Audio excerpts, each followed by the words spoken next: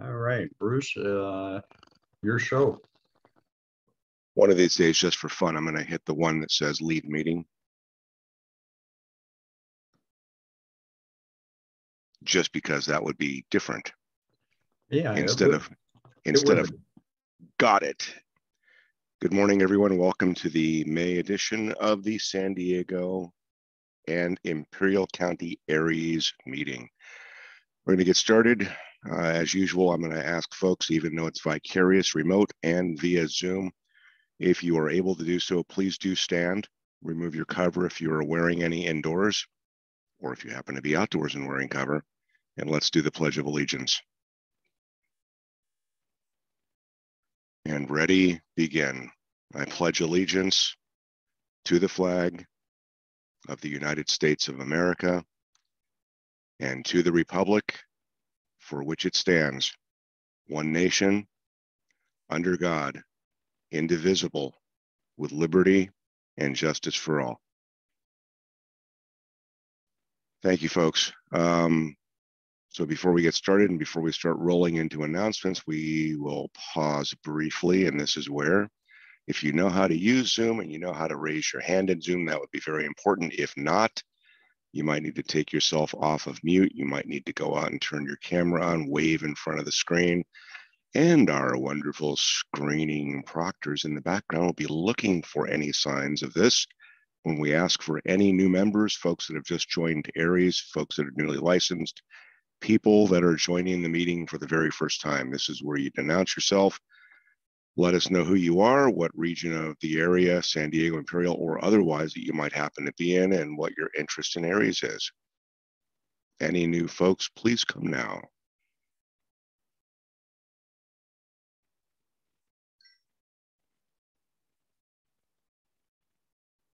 See, And Anthony has his, his hand up. There you go. Good morning, Anthony. Go ahead.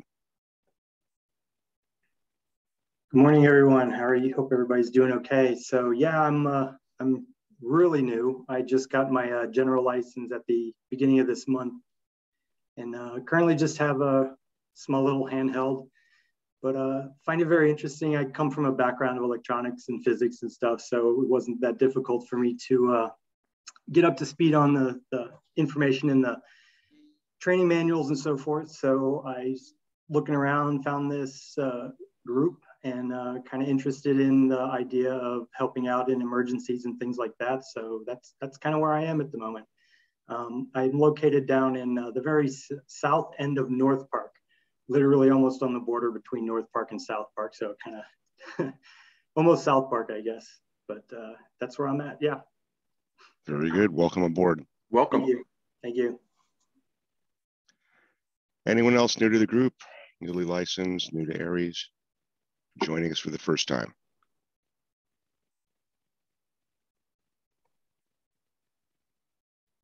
All right, hearing and seeing no additional traffic. Let's go ahead and move the Dave section manager announcements ARRL related. Please, sir. All right. Um, coming up uh, here next month is the uh, International Digital Contest on the 4th and 5th, followed by VHF contest on the 11th to the 13th, and then Kids Day on the 18th, and Field Day the 25th and 26th. So a video, uh, very busy June. Uh, and on top of that, tomorrow evening, we have a total lunar eclipse. So uh, could be interesting propagation with that going on as well. It uh, seems to change some things periodically. So uh, could be fun. Uh, there's a new grant program for clubs that uh, I send information out to all the club contacts I have. And uh, clubs can apply for grants through the ARRL or uh, they have a bunch of cash ready to uh, distribute it. So if you have a good project or club, good time to go out and do that. Um, Bruce? Very good. The um, the upcoming VHF contest, second full weekend in June that Dave was referencing. Uh, we're going to try to wrap a little bit of a mini event around that like we have done in the past. Uh, it's probably been about four or five years since we've really, really, really put a focused effort into this. The um, the intention would be to go out and see again, take advantage of the opportunity. It's the largest on the air event for VHF, UHF, and UP communications in the continental United States. Bigger than the sprints, bigger than any of the other single band events. There's, you know, a concentrated, focused effort. There's a lot of folks running around in rovers or mobile vehicles with their stations. Uh, it's a really good time of the year to go out and really play radio if you're able to go out and do so on the VHF and up bands. The um, the event will start at 11 o'clock Saturday morning. It'll end at 8 o'clock Sunday evening. The rules are pretty much the same as they have been in previous years, but comma, and we'll talk about this probably before the June meeting and an email that detail it. There are some rule changes as far as categories for participation um, especially as related to digital operations. So here's an opportunity, seriously, and I, I make no joke of this. Here's an opportunity to go out and get a nice certificate from the ARRL recognizing your individual effort being on the VHF and up bands, which is six meters and up, and sometimes only have five or six contacts that you've submitted for the event. Um, we literally have seen people get awarded because they've turned in three contacts that they've made and they've won first place in their category with three contacts. I would, of course, hope that you'll make dozens and dozens and dozens of contacts, but that's not always necessary. And sometimes it's not always practical for your schedule. Um, my current plans are to be on the air the entire weekend. I'm trying to work with folks in LA, Orange County, San Bernardino, Riverside, Imperial for the local regional areas, and then just south of the border down to Baja California, uh, trying to go out and coordinate efforts with different groups and teams of people that are there, including the rovers. And then, of course, whatever happens to happen on six meters will be interesting. Uh, this is the beginning effectively of six meter season as we normally know it here, at least in Southern California. Other areas of the country are doing really well on the VHF and up bands. Uh, Southern California is usually the last and the hardest, as always. Being on the left coast is like that to um, to get extra contacts and extra grid squares and have some of that excitement on six meters. But remember that if you've not done this before with a vertical antenna and a regular radio, and whatever bands that you have, you will probably be able to make contacts into LA. Um, over the last couple of years, it's been pretty easy during the summer season to be able to make contacts on a regular vertical antenna on two meters and especially on UHF, all the way up in the San and to Santa Barbara, um, depending on local weather conditions, inversion layers and things that are fun like that. So it's just a matter of being there in the right place at the right time and listening throughout the day to go out and hear the changing conditions and take advantage of that. We'll have more details on that in the coming in the coming weeks. And we've got, of course, as Dave also mentioned, field day at the end of the month. I would encourage you, if you're not already looking at doing field day individually, like you might have done in the last couple of years with COVID, uh, take a look at the rules, take a look at the rule changes. They've been very modest and very minor. Um, you can still contribute an individual score to a club or an organization. In the past, folks have done that as members of ARES and contributed their score to the San Diego ARES group. Uh, I would believe with COVID still sort of being in a quasi state of either being accepted and people dealing with the ramifications of it and being vaccinated and being protected and being outdoors, I would expect, and I am hearing that there are probably going to be more clubs and outdoor activities this year than there probably have been in the last couple of years. So you might look to your local region, your local area that you happen to be in, look for groups that are putting on outdoor events and participate in one of those as well. If not, just stop by and visit, see how they're doing and just go out there and see how things are done in the field by different groups and different teams of people.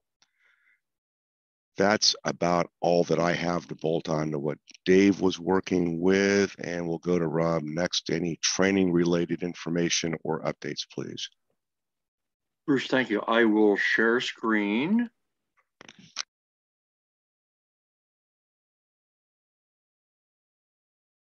Can you see that now?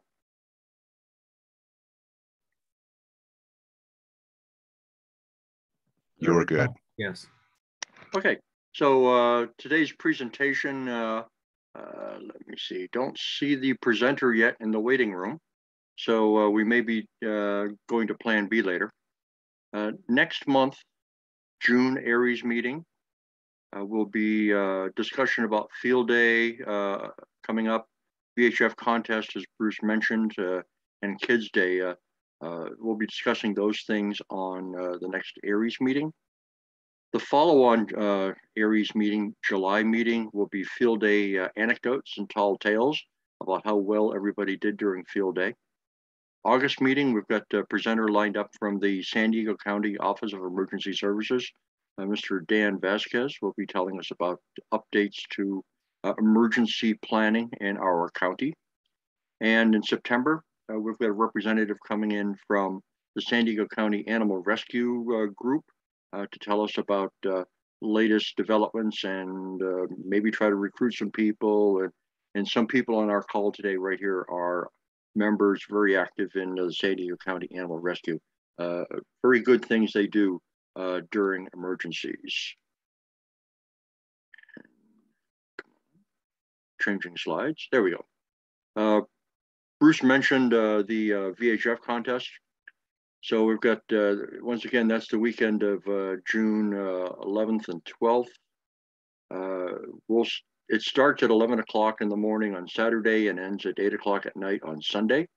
And we'll set up rally times as we've done before at on Saturday at 12 noon and 3 p.m. and 6 p.m. Probably do the same thing on Sunday. Uh, nobody plays for the continuous time. We all have lives. Uh, we play for an hour and then we go away and we come back and play for another hour as conditions change and as uh, fresh meat shows up uh, to talk to us. Uh, then we all jump in that person and I'll log our contacts and uh, and feel good about it and get our points. if you can see my virtual background there, I've got the the grid squares up. So as Bruce mentioned, going up to Los Angeles, depending upon your equipment, uh, can be done from here in San Diego. If you're in sort of a coastal spot in San Diego, you can reach up the coast, so it's easy. We usually talk to people like in Signal Hill and Palos Verdes Peninsula are easy to get. Also, sometimes there are rovers in the mountains uh, that are easy to get. So uh, we'll be able to score a lot of extra grid squares uh, doing that on the, the VHF uh, contest bands, uh, six meters and up, as Bruce mentioned. We'll send out an email later describing the details in the contest. And you know, this is practice for the big one. So future ARES planned events, uh, the next Simplex Net, uh, which will take the place of the repeater net on uh, Thursday, June 30th. That is the fifth Thursday, uh, and it's in June. And so it'll be a Simplex Net, uh, more on that later. Uh, last meeting, Bruce mentioned the San Diego County Hospital's full-scale exercise for your calendar is coming up on Thursday, July 21st. Not everybody can participate in a workday exercise, but if you can, great. Uh, I usually take a half day off in the morning, and uh, so we start the net usually at eight o'clock. We're starting to fill in uh, positions. Uh, please RSVP to me if you are able to participate. Uh, we're going to try to cover 30 locations if we can. Uh, we're not going to send anybody in alone. We're not going to send a new person uh, by themselves. you're always going to go with an experienced person. It's been a long time since we had an on-site, uh, almost three years, uh, county hospital drill. Uh, I know that other counties around the state are doing their exercises in different months of the year. San Diego chose July for the San Diego exercise. It's been a long time since we did anything. In our heads, we probably think we can still do everything, but we know we're rusty uh, in uh, coordinating uh, 50 operators on the air. And uh, we'll probably reserve maybe about 15 repeaters. We'll set up simplex frequencies so we can move much voice traffic and we will dust off our WinLink equipment, do all the updates, and uh, send hundreds of WinLink exercise, uh, exercise uh, emails back and forth in forums. So that once again, that'll all be happening on July 21st. Next ARES Activity Day is the fifth Saturday of comes in July, July 30th. it'll be in the same locations probably as other. We're always looking for new locations. If you live in an area uh, and you say, how come there's never an activity day near me? Well, please go ahead and uh, try to set something up in your neighborhood.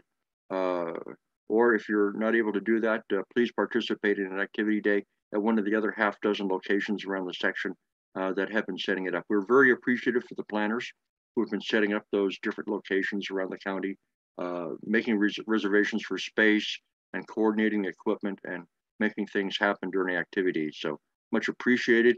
And as part of that activity day, we will conduct another uh, HF net uh, on 60 meters, an interoperability net.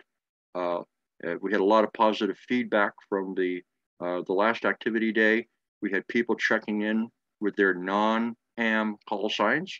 So we had people from uh, Army MARS, Air Force MARS, SHARES all checking in using their call signs for those services. And we also had representatives checking in using ham call signs for different government agencies that they were representing. So that was very good. So we'll be doing that 60 meter uh, net again uh, on uh, July 30th as part of ARES Activity Day. Uh, Miramar Air Show has announced it's going ahead uh, the weekend of uh, September 23, 24, 25. If you don't know, we support lost and found, mostly children lost and found. We patrol the crowds looking for distressed people. And if you are able to participate for a half day or whole day on any of those days in September, uh, please RSVP to me and uh, we'll plug you into the slot. Uh, it's usually uh, we get uh, preferred parking and uh, take a shuttle bus into the flight line and have a good time. We take time off from patrolling the crowd, take pictures of aircraft, wander around, and try to eat some waffle cones. And a reminder to everybody that uh, we have uh, different websites for uh, San Diego ARES. We've got uh, uh, the uh, .NET website has our Complan task book, and we use the registration there as our membership roster baseline. Uh, ECs have access to the SDGARES.net website so they can see who is uh, an ARES member in their area. Uh, the email reflector, as you probably know, is on groups.io. And we also have a YouTube channel where we put uh, recordings of our these ARES meetings, and we also have some training clips. And Bruce, that's all I have. I will stop share and turn it back to you. Thank you. Thank you, Rob. Any questions for Rob before we continue?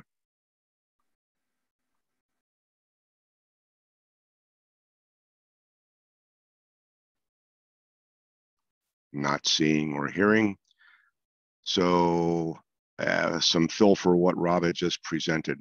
The um, the ARRL VHF event that we talked about, touching on that again, this is a really good practical exercise because this is candidly, as I mentioned, the most uh, activity we'll probably see on the VHF, UHF, and up bands uh, throughout the year without using repeaters. So there's two things that you have a immediate challenge and an immediate opportunity for and that is working without repeaters, seeing who you can talk to, again, finding out who you can talk to reliably over the course of a day or a weekend, but also having to deal with the contention that you're going to run into with multiple conversations happening on a simplex frequency, overlapping conversations, confusion about who is talking to who, and who's on first versus second, third, fourth, and fifth, whether or not somebody inside your area is talking to someone outside your area and the timing in between QSOs just happens to be so good that you're thinking you're carrying on a conversation with somebody in Santa Barbara, but you're really not. Um, it's actually quite fascinating. It's an experience that you should have to go out and build on your experience levels for dealing with the real thing. Uh, when we don't have repeaters, when we do have contention, when we do have other interference, when we do have things going on that are unexpected. Um, that's another one of the functional roles I see as being very beneficial in that event and candidly field day as well. The um, the net we just had a couple of nights ago on Thursday, some real challenging things happened there. Not really sure what happened or why, but we are going to change the format up a little bit. So don't be surprised by this in the future. Don't be surprised when you hear that. We're going to go out and put a slight change in place, which mimics what I would hope would be more of a real world scenario. Net control will continue for Thursday night. Primary machine will continue for Thursday night. But expect that there will be a secondary net control operator assigned that we hope will track and follow along. And that way, if we do have to pass the baton and move from net control number one because something has happened, either announced or unannounced, we want to have net control number two pick up that slack almost immediately, run with the ball, and continue to carry on the net as we had already started.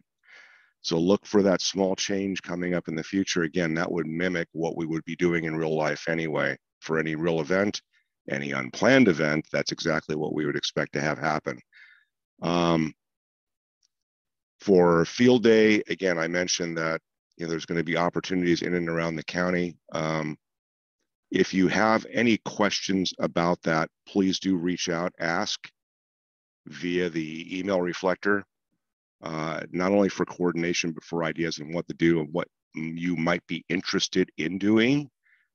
So don't be shy. Don't go out there and, you know, run up to that date and go, gosh, I didn't really have anything planned. You've got roughly six weeks from this weekend to go out and do that um, and, and get some ideas together, get some coordination together, find a friend, find a buddy, find a partner, find a club, or just do it on your own and see how you wing it operating in the field or operating in your backyard or operating in your front yard, but basically not necessarily operating from your home gear. Uh, the fallback would be that you can't operate from home, from your home equipment. Uh, we hope that you do take advantage of getting on the air in some other mode or methodology. And we do understand as well that not everyone will be able to go out and take advantage of that. I don't really have any other fill for this particular meeting. Uh, I will announce that we do have some upcoming opportunities with other served agencies here in California and in San Diego that we're going to be looking into.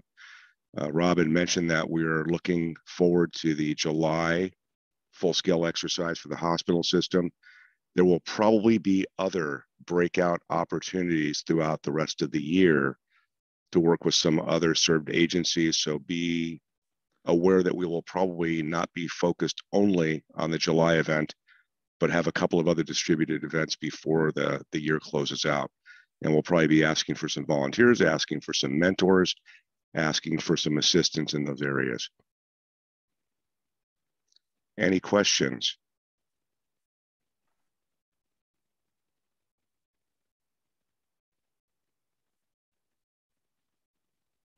Not hearing any. Any updates on our presenter status? Uh, no text messages, no voicemails. Let's move to plan B. All right, I have something I can throw together here real quick. Dave is amazing. Well, let me see if I can bring this thing up.